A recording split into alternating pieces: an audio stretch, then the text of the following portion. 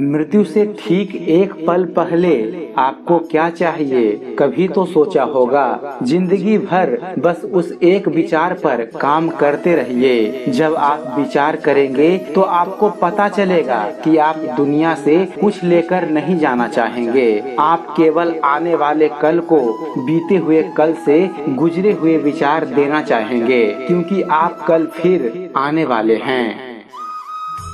ज़िंदगी को हमेशा मुस्कुराकर जिए, क्योंकि आप नहीं जानते कि यह कितनी बाकी है।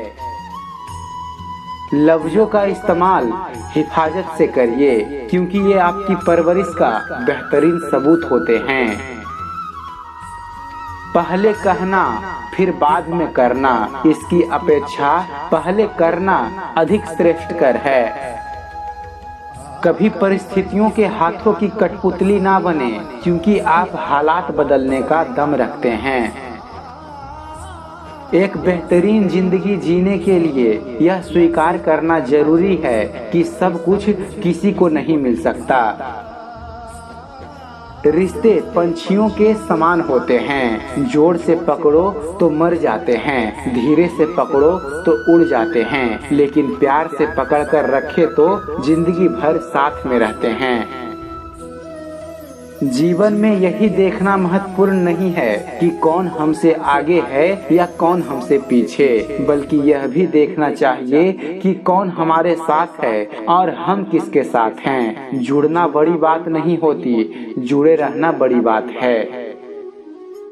सबसे इस तरह का व्यवहार कीजिए कि अगर कोई आपके बारे में बुरा भी कहे तो कोई उस पर विश्वास न करे। हर किसी को दिल में उतनी ही जगह दीजिए, जितनी वो आपको देता है। अन्यथा, या तो वो खुद रोएगा, या आपको रुलाएगा।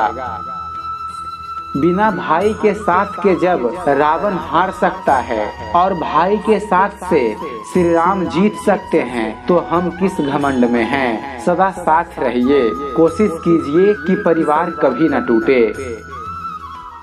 कभी कभी आपको लोगों से उम्मीद छोड़ देनी पड़ती है। इसलिए नहीं कि आप परवाह नहीं करते, बल्कि इसलिए कि वे परवाह नहीं करते। कोई भी व्यक्ति बीते समय में जाकर उसमें बदलाव नहीं कर सकता, परंतु वह आज से एक नई शुरुआत कर सकता है अपने आने वाले कल को अच्छा बनाने के लिए।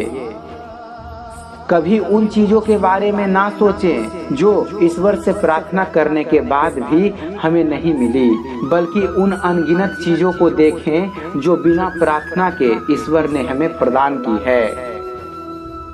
कुछ पा लेना जीत नहीं और कुछ खो देना हार नहीं। केवल समय का प्रभाव है और परिवर्तन तो समय का स्वभाव है।